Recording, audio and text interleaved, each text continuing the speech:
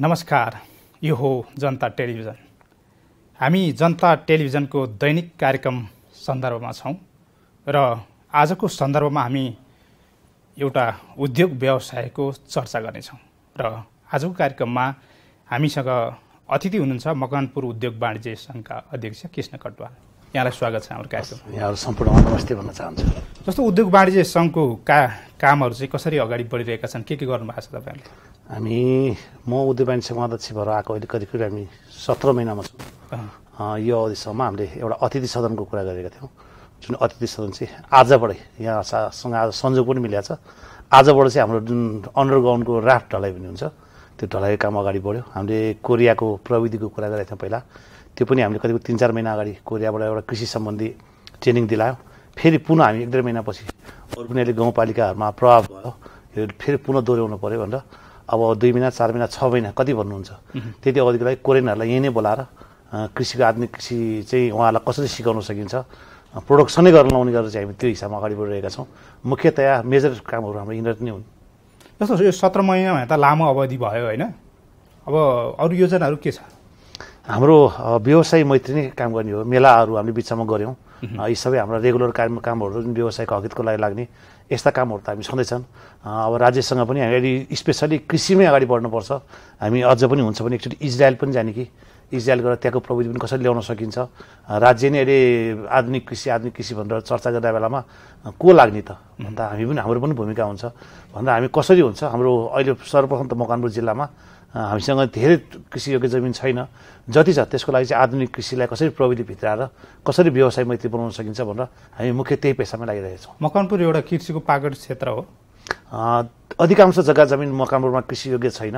मकवानपुरको पालुङ क्षेत्रमा दामन पालुङ थार नगरपालिका छ। त्यो क्षेत्रमा तरकारीहरू फलफुलहरूको लागि त्यो निकै राम्रो हब छ।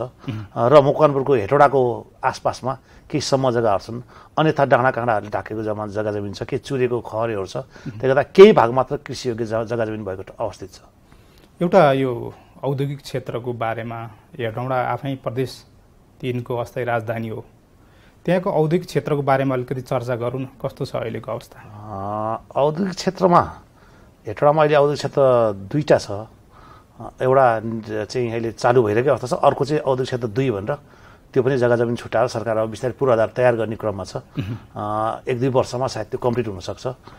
यो औद्योगिक क्षेत्र दुईवटाको कुरा गरेर औद्योगिक क्षेत्र दुई भइसकेपछि के सहजता होला? तर औद्योगिक क्षेत्र एकमा मात्रै भन्नु पर्दाखेरि हिजोको दिनमा विगतमा धेरै अप्ठ्यारा उयोहरू थिए धेरै उद्योगहरू रुग्न भएको धेरै बन्द भएको थियो र अहिले चाहिँ यो बन्द भएको जुन उद्योग हो त्यसको ठाउँमा चाहिँ नयाँ नयाँ उद्योग आउने क्रम पनि जारी नै छ। सायद यही आर्थिक वर्षभित्र करिब करिब तिसवटा जति नयाँ उद्योगहरू चाहिँ स्थापना हुने अवस्थामा छ। अहिले सयको हाराहारीमा उद्योग चलिरहेकै अवस्था छ त्यहाँ। पहिलाभन्दा केही सुधारमुख छ र जग्गा जमिन चाहिँ अधिकांश जग्गा जमिन मान्छेले पाइरहेको अवस्था छैन कति उद्योगीहरूले उद्योग राख्नु पऱ्यो भनेर आउनु भएको छ हामीलाई हामी हामीसँग सिधै प्रत्यक्ष जोडिन आउनुहुन्छ। त्यो बेलामा हामीले उहाँहरूलाई जग्गा सहजसँग दिलाउन सक्ने अवस्था छैन। त्यहाँ जग्गाको कमीको अवस्था छ। अरू कठिनाइ के अ, अब मजदुरको समस्या छँदैछ। यो मजदुरको औद्योगिक क्षेत्र भएको ठाउँमा राज्यले कहिलेकाहीँ जुन मजदुरको स्यालेरी गर्दाखेरि दुविधा हुने किसिमको नीति नियम बन्दाखेरि कहिलेकाहीँ समस्या हुन्छ। राज्यले अहिले एउटा न्यूनतम तलब भनेर तोकिदिएको छ। तर त्यो चाहिँ न्यूनतम तलब चाहिँ सबैलाई बढ्न पनि त्यही रेसियोमा बढ्न पनि सरकारले तोकेको न्यूनतम तलब जुन हो उद्योगीहरू भन्नुहुन्छ न्यूनतम तलब मात्रै हामीले जुन भनेको त्यतिसम्म चाहिँ दिनुपर्छ भन्ने भन्नुहुन्छ उहाँहरू। मजदुरहरू भन्नुहुन्छ त्यो होइन सबैलाई फ्ल्याटमा माथि बढ्नुपर्छ भन्नुहुन्छ। यस्ता कुराले गर्दा केही दुविधाहरू छ? राज्यले पनि यस्तो पाराले यो यो तपाईँले दिनुपर्ने यति हो भनेर प्रष्ट भनिदियो भनेदेखि उद्योग र मजदुर बिचमा सुमधुर सम्बन्ध हुन्छ। राज्यले तोकेको न्यूनतम स्यालेरी दिन उद्योगीहरू तयार छन् तर त्यसमा दुविधा हुने किसिमले कसैले बोलिदिनु हुँदैन। यस्तो किसिमको पाठहरू भइदियो भने चाहिँ उद्योगलाई सहजता हुनेछ। एउटा त्यहाँ भनिन्छ नि हेटौँडाको ठुलो उद्योग चाहिँ युनिलिभर र अरू साना साना उद्योगहरूको चाहिँ आपसी समन्वय नहुँदा यति बेला चाहिँ त्यहाँ त्यो ठाउँमा मजदुरहरूको बिचल्ली छ भन्ने पनि बाहिर आइरहेको छ नि यो के हो? यो हो नै। लगभग हाम्रोसँग अहिले त्यहाँ युनिलिभरसँग जोडेको तिनवटा उद्योग लगभग बन्द भइसकेको अवस्था छ। एउटा नेसनल सोप एउटा गङ्गा सोप र एउटा युनिक सोप। र अब गङ्गा सोप पनि बन्द हुने अवस्थामा छ र नेसनल सोप र युनिक सोप चाहिँ बन्दै भइसक्यो। त्यसमा मजदुरहरूलाई पनि केही दिनपर्ने राहतहरू दिएर राज्यले जे तोकेको छ। उहाँहरूलाई विदा गर्ने क्रममा त्यो चाहिँ उद्योगले दिएर चाहिँ विदा गर्ने क्रममा छ। र यसमा जुन उद्योगी युनिलिभर र जुन थर्ड पार्टी भनिन्छ दुईटा उद्योगीले सुरुमा काम गर्ने क्रममा सम्झौता हुन्छ। सम्झौता केही अपूर्ण भएको भन्ने हाम्रो चाहिँ समय छ। सम्झौता गर्दाखेरि नै युनिलिभरको जिम्मा के त्यो व्यवसायिक उद्योगीको जिम्मा के के हुन सक्छन् यस्ता कुराहरू सुरुमै सम्झौता गरेर एकदम प्रष्टसँग गरेको भएदेखि अहिले यो दुविधा आउँथेन होला। युनिलिभरले पनि कतिपय पाटोमा चाहिँ सुविधाहरू नदेखेका पनि छैन। सुविधा दिएका पनि छन्। युनिलिभरको आफ्नो कम्पनीमा उसले राम्रै सुविधा दिएर कर्मचारी राखेको छ। तर यो थर्ड पार्टीमा चाहिँ उहाँले जुन अर्कोलाई प्रोडक्सन गरेर त्यो युनिलिभरले किनेर अनि जुन आफ्नै ब्रान्ड नेमबाट बाहिर उहाँको बिक्री वितरण हुन्छ। यस्तोमा चाहिँ केही असमझदारी केही हिजोको दिनका सम्झौताहरू पूर्ण नभएको। त्यसमा यो हुनसक्छ यो हुन सक्दैन भोलि मजदुरहरू निकाल्दाखेरि के गर्ने कसरी गर्ने भन्ने यो कुराको अलिक स्पष्ट नभएर पनि के समस्या आएको। एउटा तपाईँले पनि अलि अघि विषय अलिकति जोड्नुभयो होइन? हामीहरूको त्यहाँ जग्गा नै छैन भनेर। दो दोस्रो औद्योगिक क्षेत्र बनिरहेछ त्यस पछाडि केही सहज हुन्छ कि भन्ने कुरा गर्नु। जस्तो जग्गाहरू हुन सकेनन् भने त त्यहाँ जाने उद्योगहरू त अन्त जाने भयो नि त त्यहाँ बस्न त नसक्ने अवस्था रह्यो। होइन? अहिलेलाई यो समस्या छ नै। तैपनि अहिले केही चाहिँ व्यवस्थापन भएर मैले अघि पनि भने अठाइस तिसवटा उद्योग चाहिँ अहिले पुरा पुरानो ठाउँमा चाहिँ विस्थापित गरेर पुरानो जुन बन्दै भइसकेको उद्योगहरूलाई चाहिँ प्रतिस्थापन गरेर नयाँ नयाँ उद्योगहरू करिब तिसवटा त्यो उद्योग चाहिँ अब सञ्चालन हुने क्रममा छ। यो केही राम्रो कुरा चाहिँ हुन् तर जग्गाको अभाव छ। अब बढ्ने ठाउँ पनि छैन। अहिले भएको क्षेत्रसँग चाहिँ अन्यत्रतिर फिजेर जान सक्ने एरिया पनि उसँग छैन। थोरै केही त उहाँहरूले एरिया बढाउनु भएको छ। त्यसमा केही एडजस्ट गर्नुभयो तर सम्पूर्ण जग्गा पूर्ण रूपमा जग्गा उपलब्ध हुने अवस्था छैन त्यही अब औद्योगिक क्षेत्र दुई भए पछाडि यो समस्या केही न केही सल्भ होला। तर त्यो पनि एउटा छोटो समयको लागि। त्यहाँ निकै ठुलै जग्गा चाहिँ फेरि अर्को औद्योगिक क्षेत्र दुईबाट हुँदैछ। अहिलेको लागि चाहिँ भन्नुपर्दा चाहिँ केही जग्गाको अभाव छ नै राज्यले पनि अब औद्योगिक क्षेत्र व्यवस्थापन लिमिटेडलाई भन्दा यो हिसाबले तपाईँ जग्गा दिनुहोस् भनेर उहाँहरूले कि जग्गाको पूर्णता दिलाइदिएदेखि राम्रो।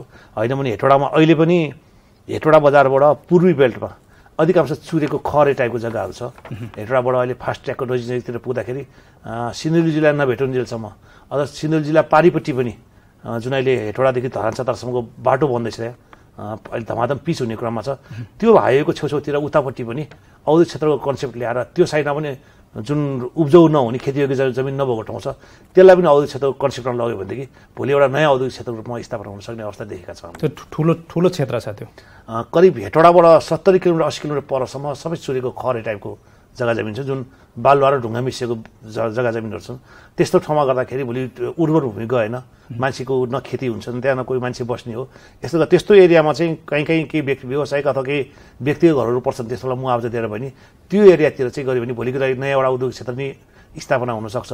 त्यहाँका मान्छेले रोजगारी नै पाउँछन्। यो पाटोमा सोच्यो भनेदेखि चाहिँ मकनपुर जिल्लाले मात्रै भ्याएर पुगेन भनेदेखि भोलिको दिनमा सिन्धुली जिल्लापट्टि पनि त्यत्तिकै एरिया छ फेरि। यो त्यता पनि जान सक्यो। त्यता पनि बढ्न सक्ने अवस्था छ। जस्तो तपाईँहरूले यी विषयहरू सरकारको ध्यान आकर्षणका विषयहरूमा वाणिज्य सङ्घले केही गरेको छ छैन? हामीले अब राज्यलाई मौखिक भन्ने हो र हामीले लिखित पनि शाहबाट चाहिँ हाम्रा व्यवसायका विभिन्न समस्याहरू हुन्छन्। ती समस्याहरू अहिले प्रदेशको राजधानी हेटौडा भएको कारणले गर्दा कति चाहिँ अहिले प्रदेशसँग चाहिँ हाम्रो आफ्नै पनि पहुँच छ। त्यो हिसाबले हामीले उहाँलाई पत्रचार गरेर गर्छौँ। र कतिपय चाहिँ हामी सङ्घीय सरकारबाट हुनुपर्ने कामहरू चाहिँ उहाँहरूलाई बेला बेलामा झकझगाउँछौँ र उद्योग वाणिज्य महासङ्घ मार्फत हामी पत्रचार पनि गर्छौँ। सबै काम हामीबाट भइरहेको छ। यो त गर्नुभयो तर आश्वासनको पाटाहरू हुन्छ नि के भन्नुभएको छ उहाँहरूले? हुन्छ भन्नुहुन्छ अब उहाँहरूको नीति निर्माणको कुरा भन्नुहुन्छ फेरि भर्खर संविधान आयो अब हामी कति हाम्रो पोलिसी बनाउने बाँकी छ।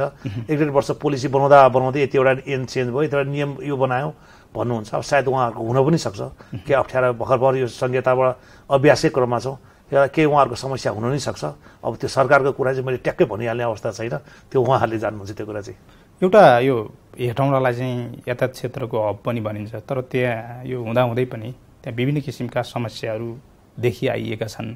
समस्या समाधानको पाटो त्यति चासोका साथ कसैले पनि हेरेको जस्तो देखिन्न। खास सरकारले गरिदिनु पर्ने के हो त्यहाँ? यसमा हेटौडा देशकै यातायातको एउटा हब हो। हेटौडामा हिजोको दिनमा कपडा उद्योग बन्द हुँदाखेरि कति रोजगारी गयो गयो भनेदेखि अहिले हेटौडामा यातायातको क्षेत्र के के धाराशाही बनेर गयो भने भोलिको दिनमा यसले निकै ठुलो आर्थिक प्रभाव पर्छ हेटौडामा। हेटौडामा अधिकांश मान्छेको गाडी पेसा छ। मेरै पनि पेसा यातायातसँग जोडिन्छ। हेटौडामा राज्यले जुन नारायण सङ्घ छ त्यहाँले त्यस्तै गरेर अर्को एउटा कम्पनी पनि खुलेको छ। अहिले त कम्पनीतिर गएको अवस्था छ। उहाँहरूलाई के गर्दा सहजता हुन्छ? तपाईँलाई यातायातको कस्तो कस्तो एन बनाइदिनु पर्यो?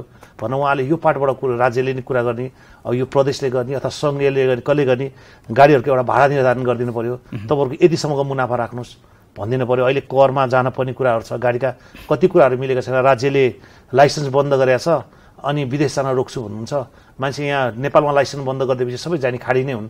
ड्राइभर अथवा हाम्रो खलासीहरूको जुन काम गर्नुहुन्छ उहाँहरूले यहाँ रोजगारी नपर्ने लाइसेन्स नबन्ने भइसकेपछि उहाँहरू जाने अधिकांश बाहिरै जाने हो। यस्तो कामहरू रोक्नलाई पनि कसमा लाइसेन्स सजिलोसँग पाउने केही नियमहरू छन् त्यो त पालना गर्नै पर्छ। त्यही कारण लाइसेन्सलाई अलिक सहजता गर्ने यातायात व्यवस्था कार्यालयमा केही अनियमितताको कुराहरू देखिन्छ त्यस्ता कुराहरूलाई नियमित बनाउने त्यहाँ केही चलखेलका कुराहरू छ भने त्यस्तो बन्द गराउने यति गर्दाखेरि चाहिँ या त जुन हामीले मजदुर सहजसँग पाउने अनि गाडीको भाडा निर्धारण गरिदिने तेलको एउटा रेसियो यति छ भनेदेखि यहाँबाट यहाँ जाँदा यति हुनसक्छ भने चाहिँ यातायात व्यवसायहरूलाई धेरै कुराहरूको अनुभव हुन्छ उहाँले भन्न सक्नुहुनेछ। राज्य पनि हामी उद्योगवादीसँग छौँ म मेरो पेसा पनि छुन्छ त्यहाँको भएको यातायात व्यवसायी सङ्घहरू सबैजना बसेर धुवानी सङ्घ छ सबैजना बसेर चाहिँ एउटा सहजसँग कुरा गरिदियो भने त्यसले भोलिको दिनमा निकास तपाईँहरू के। बस्न सक्नु भएको छैन अहिले? हामी अहिले अहिलेसम्म राज्यले त्यसरी सबैको पाटो यो खुला खुल्लम खुला बोलेर चाहिँ बोलेको कुरा पुरा हुने कि नहुने फेरि। के के कुरा गर्छौँ त्यो कुरा हुने पुरा हुने कि नहुने? राज्यको सचिव स्तरको उहरू होला यातायात मन्त्रालय होला सबै पार्ट एक ठाउँमा बसेर एउटा निचोडै जाउँ त। एक दिन दुई दिन तिन दिन अभ्यास गरौँ के के हुनसक्छ? भन यसरी कुरा गरेर लिखितै सहित जाने हो भने कि यो यसले ठुलो भोलिको दिनमा अर्थतन्त्रमा प्रभाव गर्छ। अन्यथा कुनै दिन गाडी यातायात व्यवसायी तरासाई भएर जाने अवस्था छ। भनेको अरू समस्याहरू के छन् त यातायात यातायातमा अहिले धुवानी पेसामा त्यस्तो समस्या छ। हामीले कुनै कम्पनीबाट अहिले हामी काम गर्छौँ भने एउटा ट्रान्सपोर्ट कम्पनीले काम गर्छ। सुरुमा टिडिएस काटिन्छ। अनि फेरि त्यो उसले गाडीवालालाई भुक्तानी गर्दा फेरि टिडिएस का का- काट्नु पर्ने अ, गाडीको हिसाबहरू कति ठाउँमा लेबरलाई पैसा नदिकन लेबर चिया खर्च भनेर एउटा गाडीले हजार बाह्र सय पन्ध्र सय दिनुपर्ने अवस्था छ। त्यो चिया खर्च नदिएमा उताबाट त्यो लेबर लोड आउनु नै नगरिदिने। चिया खर्च भने हजार पन्ध्र सय हुन्छ र त्यसरी हजार पन्ध्र सयसम्म दिनुपर्ने अवस्था छ। बाटोमा प्रहरीले दिने दुःखहरू अलगै छन्। अहिले अधिकांश टिपरहरू जुन टिपरहरू चल्छन्। टिपर आतङ्क पनि आउँछ कहिलेकाहीँ। टिपरहरूमा अधिकांश ठाउँमा अलिक गाउँतिर पनि चल्छन्। अधिकांश ठाउँमा लाइसेन्स नभए मान्छेले चाहिँ गाडी चलाइरहेको अवस्था छ। अहिले पनि नेपालभरिको गाडीमा हेर्ने हो भने अहिलेको लाइसेन्सको रोक्काले गर्दा टेन पर्सेन्टभन्दा माथि चाहिँ लाइसेन्स नभएको मान्छेले गाडी चलाइरहेको अवस्था छ। भोलि दुर्घटना हुँदा त्यसकोबाट आउन सक्ने समस्या के हुनसक्छ कि लाइसेन्स सहजतासँग दिनु पर्यो? राज्यलाई कति गाडी छ र कति लाइसेन्स चाहिने? त्यस्ता कुरा राज्यले आकलन गरेर त्यही अनुसारको सहजता गर्यो भने सहज हुन्छ। यो सुरुङ मार्ग निर्माणको कुरामा तपाईँसँग गएँ। यो सुरुङ मार्ग निर्माण खासमा केले रोकियो होला यो? सुरुवातमा अब सुरु मार्क एउटा कम्पनी गठन भयो जसमा साधारण सेयर चाहिँ म पनि हुँ त्यसको। साधारण लगानी मेरो पनि रहेको लगानी गर्नु मेरो पनि लगानी छ सुरुवातको अवस्थामा। करिब उन्साठी जनाको लगानी थियो सुरुमा त्यसभित्रमा म पनि पर्छु अ, सानतिनो रकम रकम छ धेरै ठुलो छैन। र त्यो गरिसकेपछि सुरुमा उहाँ अब सुरुकुमारको जुन कम्पनी जसले सञ्चालन गर्नुभयो जो निर्देशक हुनुहुन्थ्यो उहाँहरूको सुरुको अवस्थामा लाइसेन्स पाएको पनि हो सुरुकुमार अगाडि बढ्छ पूजा पनि भएको हो। त के रकम जुटाउनु नसकेको उहाँले? रकम जुटाउने क्रममा क्यानाडाको कम्पनी भन्नुभयो बाहिरको युरोपियन हाम्रो एनआरएनहरूले चाहिँ पैसा हाल्छु भन्नु भन्नुभयो। केही समस्या भयो? उहाँहरूको के चाहिँ आयो उहाँहरूसँग सरसल्लाह गर्दाखेरि आइपिओ जारी गर्न पाएनौँ सेयर बजारमा जानै पाएनौँ। केही प्राविधिक कारणले गर्दा हामीले पैसै जम्मा गर्न सकेनौँ भन्नुभयो त्यति बेला पैसा जम्मा गर्न नसकेको पनि हो। र अब अहिले पछिल्लो चरण आएर हेर्दाखेरि चाहिँ अहिले अध्यक्ष चेन्ज भएको अवस्था छ। अहिले एनआरएनको जुन अध्यक्ष जो हुनुहुन्छ भट्ट उहाँलाई नै अहिले सुकुमारको अध्यक्ष बनाइएको छ। र यो? करिब डेढ महिना दुई महिना यता चाहिँ अहिले उहाँ अध्यक्ष हुनुहुन्छ र पहिला कुशकुमार जोशी हुनु पहिला कुशकुमार जोशी हुनुहुन्थ्यो। फेरि लाल कुमार केसी हुनुभयो। फेरि भवन भट्ट हुनुभयो। फेरि अरू को हुनुभयो र अहिले अन्तिममा फेरि भवन भट्टै हुनुहुन्छ। र उहाँको लगानी पनि त्यहाँ करिब करिब सत्र अठार करोड जतिको मेरो लगानी छ भनेर उहाँले भन्नुहुन्थ्यो। त्यो अवस्थाले गर्दा अहिले उहाँले र प्रदेश सरकारले पनि यो सुरुङमारलाई जसरी नै बनाउनुपर्छ यसले भोलि हेटराको अर्थतन्त्रलाई ठुलो असर गर्छ देशकै अर्थतन्त्रलाई असर गर्छ। यो जुन सुरुङमार बन्दाखेरि जुन डिजेलको पाइपलाइनको कुरा छ डिजेलको पाइपलाइन पनि त्यहीँबाट लान सकिन्छ। भोलि काठमाडौँसम्मको पाइपलाइनहरू जोड्न त्यही सुरुङबाट किन नजोड्ने एउटै खर्चमा थोरै खर्च बढ्ला त्यसले त्यो पनि जोड्न सक्छ। भोलि अहिले अप्टिकल फाइबरका कुराहरू छन् अन्यत्र कुराहरू छन् धेरै कुराहरू राज्य राज्य राजधानीसँग जोड्न सकिन्छ। राजधानीको कस्ट कति कम हुन्छ होला यसले। भने यी विभिन्न पार्टहरू हेराउँदाखेरि यो सुरुङमार अपरिहार्य छ। जसरी बन्नै पर्ने अवस्था छ।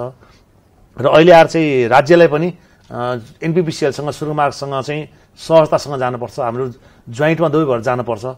त्यतिकै जाँदा उहाँहरूको पनि भोलि मुद्दा मामिलाको कुराहरू हुनसक्छ। सर्वसाधारणको सेयर परेको कुराहरू छ लगानी भएको कुराहरू छ। त्यो पैसा नउठ्न सक्छ डुब्न सक्छ। यसले धेरै ठुलो समस्या ल्याएर उहाँहरू पनि राज्यसँग मिलेर जानुपर्छ भन्ने पक्षमा हुनुहुन्छ। र राज्य पनि अहिले त्यो एनपिपिसिएल कम्पनीसँगै मिलेर जानुपर्छ सहजतासँग जानुपर्छ भनेर दुवै पक्ष प्रदेश सरकार र एनपिपिसिएल दुबईको धेरैवटा बैठक भएको छ र केही बैठकमा म पनि बसिएको छु अहिले चाहिँ उहाँहरू अब अगाडि बढ्ने प्रोसेसमा हुनुहुन्छ र असारको सोह्र गते केही पहिला सारणसभा पनि हुन सकेन। अब आउने असार सोह्र गते चाहिँ उहाँहरूको सारणसभा पनि हुँदैछ। म पनि जान्छु र अब सायद केही स्पिड लिन्छ कि केही चाइनिज कम्पनीहरूसँग कुरा भइरहेको पनि मैले भेटाएको छु। अबको असारको चौध गतेको सारणसभा पछाडि चाहिँ केही स्पिड लिएला कि भन्ने आशामा छु। त्यस पछाडि काम अगाडि बढ्छ। अब ट्याक्कै बढ्छ भनेर भन्ने अवस्थामा म छैन म त्यहाँ कुनै बोर्डमा छैन एउटा उद्योग ब्याङ्कको अध्यक्ष हिसाबले कहिलेकाहीँ उहाँले बोलाउनुहुन्छ मिटिङमा त्यहाँ जाँदाखेरि जानकारी भएअनुसार सायद असारको चौधको सार छ पछाडि एउटा केही रिजल्ट चाहिँ बन्ने नबन्ने कसरी बन्ने बन्ने भने त्यो केही निचोड चाहिँ आउन सक्ने सम्भावना छ। एउटा यो प्रदेश राजधानीको अहिले एकदम चर्को बहस छ यो प्रदेश तिनको होइन? कसैले चाहिँ भक्तपुर हुनुपर्छ कसैले चाहिँ तपाईँको बनेपा हुनुपर्छ कसैले हेटौँडा नै हुनुपर्छ यो विविध धारणाहरू आइरहेका छन् बाहिर। खास मकनपुर उद्योग वाणिज्य सङ्घको धारणा चाहिँ के हो? हामी त सुरुवातदेखि नै यो हेटौँडा राजधानी हुनैपर्छ भन्ने पक्षमा थियौँ। म मकवानपुरवासी भएको कारणले गर्दा मैले मकवानपुर भन्नु स्वाभाविक हो। तर पनि यो मान्छे कोही काभ्रे भन्ने कोही कता भन्ने अधिकांश अहिले यो जनतालाई भन्दा पनि सांसदज्यूहरूलाई चाहिँ उहाँहरूलाई काभ्रे चाहिएको हो। नभए काभ्रेमा को भू बनावट हेर्ने भने बनेपा पनौती र धुलीखेलमा कति नै ठुलो जग्गा जमिन छ र मैले अघि पनि भने औद्योगिक क्षेत्रको पार्टमा जुन कुरा गरेँ यही पार्ट भोलि हेटौँडामा बढ्न सक्ने सम्भावना कति छ हेटौँडामा जोडेको हाइवेहरूको हिसाब हेर्ने भनेदेखि सायद देशमै हेटौँडामा त्यो हाइवे धेरै छैन। कान्ति राजपथ यो छोटो मार्ग हामीसँग यो भीमफेदीबाट आउने अर्को मार्ग छ त्यसै गरी धरान चत्रको मार्ग छ महेन्द्र राजमार्ग त्यहीँ जोडिन्छ त्रिभुवन राजपथ जोडिन्छ सुरुङ मार्गको कुरा छ फास्ट ट्र्याक त्यहीँबाट आउँछ। कता विभिन्न बाटोहरू छन्। त्यो सबै कुराले गर्दा नि पहुँच राम्रो छ। हेटौँडामा खानेपानीको समस्या छैन। अहिले पनि हेटौँडामा यथेष्ट अहिले म मेरो घरमा बस्दाखेरि मेरो घरमा बिस घन्टा धारा आउँछ। हामी काठमाडौँको पानीको समस्या देखेका छौँ। यही काठमाडौँलाई मात्र लोड गर्ने यही सबै मात्रै गर्ने भने किन विकेन्द्रीकरणको हिजोको पोलिसी चाहिन्थ्यो र किन यो प्रदेशको नीति चाहिन्थ्यो र? काठमाडौँको वरिपरि काठमाडौँ भक्तपुर ललितपुरमै प्रदेशको राजधानी राख्ने यहीँ नजिकै हुनु पऱ्यो। त्यो काभ्रे भने पनि काभ्रेको कुनै कि ल र हाम्रो पाँच खालतिर अलिक परको एरियामा लगेर राख्ने भए अलग कुरा। होइन यहीँ बनेपामै लगेर राख्ने पनौतीमै राख्ने भए त किन यहीँ चाहिन्थ्यो र? बरु लर राख्नु चितवनमा लर राख्न सकिन्छ। राख्न सकिन्छ नुवाकोटमा लर राख्न सकिन्छ। यस्तो गर्दा चाहिँ भोलि विकेन्द्रीकरणको हिसाबले सुन्छ। अहिले अधिकांश सांसदज्यूहरूलाई चाहिँ काठमाडौँमा भयो हुन्थ्यो आफ्नो सुविधाको हिसाबले भन्नुभएको हुनसक्छ उहाँहरूले। नत्र त मैले अस्ति पनि केही सांसदज्यूहरूसँग मेरो छलफल कमाने भनेको थिएँ। तिन नम्बर प्रदेशमा पो काठमाडौँ छ त। एउटा यो यो संहिताको मोडेलको कुरा र काठमाडौँ नजिकको भन्ने यहाँको भनाइ त रह्यो। तर अधिकांशले के भन्छन् भनेदेखि जस्तो यो तिन नम्बर प्रदेशको केन्द्र त हेटौँडा भएन नि त्यो सबैको हिसाबले भन्छन् नि। यसरी जुन भूगोलको हिसाबले। भूगोलको हिसाबले हुन हाम्रो अरू प्रदेश चाहिँ कसरी छ हामीले सबैलाई हेर्न परेन र अहिले कर्णाली प्रदेशको सुर्खेत चाहिँ कहाँ बिचसम्म छ र? कर्णाली प्रदेशले के गर्ने? होला चार नम्बर प्रदेशको पोखरा केही नजिक होला? त्यही विराटनगर पनि त एउटा छेउमा पर्ने ठाउँ हो नि। अन्तिमको त्यो चोसोमा परेको जिल्ला छ। त्यसले गर्दा अबको दिनमा बाटो खाघाटोको पहुँचको हिसाबले सबै भन्यो भने विकेन्द्रीकरणको हिसाबले मैले अघि भने भौतिक पूर्वाधारको हिसाबले हेर्दामा अहिलेसम्म हेर्दामा गएको जुन प्रदेशको जति पनि मन्त्रालयहरू छ जति पनि अफिसहरू छ अहिलेसम्म एउटा जग्गा जमिन चाहिँ भाडामा बस्न परेको छैन। सबै अहिले भएको सरकारी संरचनाबाट नै सबै स्थापित छ। त्यो एउटा बलियो पार्ट छ। सायद दुई नम्बर प्रदेशसँगको भोलिको के के हाम्रो विभिन्न मिडियामा आइरहेको छन् त्यसको रणनीतिक हिसाबले पनि हेटवटा प्रदेशको राजधानी हुनु जरुरी छ। अघि मैले औद्योगिक क्षेत्रको कुरा गरिहालेँ। यता चितवन को उतापट्टि जुन त्यो हाम्रो पाँच नम्बर प्रदेश दुई नम्बर प्रदेश यी सबैसँग नजिक पनका कुराहरू हेटौडाको बन बस्न सक्ने भू बनावटका कुराहरू काठमाडौँबाट नजिकको दूरी अहिले विभिन्न बाटोहरू बन्दैछन् भोलि अघि मैले सुरुङ मार्ग बन्यो भने एक घन्टा पैँतालिस मिनटमा काठमाडौँबाट हेटौडा आउनु जान सक्ने सम्भावना कुराहरू छन्। यी सबै पाटा हेर्दाखेरि पनि हेटौडा चाहिँ हुनु हुँदैन जस्तो लाग्दैन। त्यसमा चाहिँ के यो नेतृत्व गर्नेहरूले चाहिँ यो पछिका सम्भावनाहरू बारे बुझ्न नसकेका हुने कि के हुने? मैले भन्दा त अब हामीसँग अहिले हेटौडामा रहनुभएका मुख्यमन्त्रीज्यूहरू हुन्छ उहाँहरू चाहिँ उहाँहरू सायद हेटौडाकै भएर नि होला। उहाँहरू चाहिँ सबै हेटौडै हुनुपर्छ उपयुक्त छ पनि हुनुभएको छ। र यसमा फेरि भोलिको दिनमा अहिले बरु हाम्रो तिन नम्बर प्रदेशमा कुनै समस्या आएको छैन। हाम्रो दुई नम्बर प्रदेशमा एक नम्बर प्रदेशमा त्यसै गरी पाँच नम्बर प्रदेशतिर बेला बेलामा कुरा आइरहेछ। राजधानी सार्ने कुरा इस्यु आइरहेछ। भोलि हेटौँडामा के भयो हामी पनि आन्दोलनतिर लाग्ने नै छौँ यो हेटौँडाबाट राजधानी सर्ने कुरा आएमा। एक ठाउँबाट मात्रै के आन्दोलन सुरु भयो भनेदेखि राज्य अहिले एउटा स्पिडमा जाने अवस्थामा छ।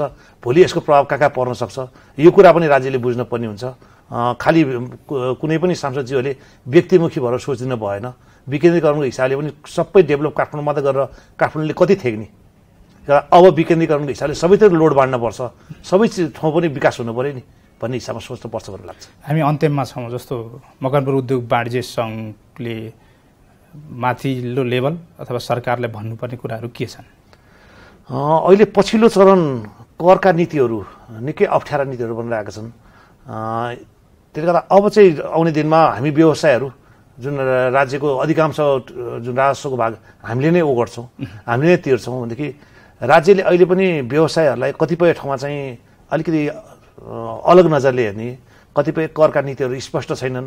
कतिपय साना साना व्यापारीहरूलाई पनि एउटा कपडा सिलाइहरूको चाहिँ जुन काम गरेर एउटा सानो कल राखेर बस्ने हुन्छ उसलाई पनि भ्याटमा जानुपर्ने। सामान्य काठमाडौँको न्युरोडको ब्युटी पार्लर र हेटौडाको कुनै एउटा गाउँमा राख्ने ब्युटी पार्लरमा कति फरक होला उसलाई पनि भ्याटमै जानुपर्ने। अघि हाम्रो ट्रान्सपोर्ट लाइन भएको टिडिएसका कुराहरू डबल तेबर छन् यस्ता कुराहरू छन्। र अनुगमनमा अनुगमन कसले गर्ने? बजारमा एउटा व्यवसायको अनुगमन कसले चाहिँ अनुगमन गर्ने? हालसालै मात्रै नै एउटा हाम्रो हेटौडामा रहेको एउटा बिउ बिजनको पसल छ। उहाँको सामान्य पसलको चाहिँ नवीकरण नभएको।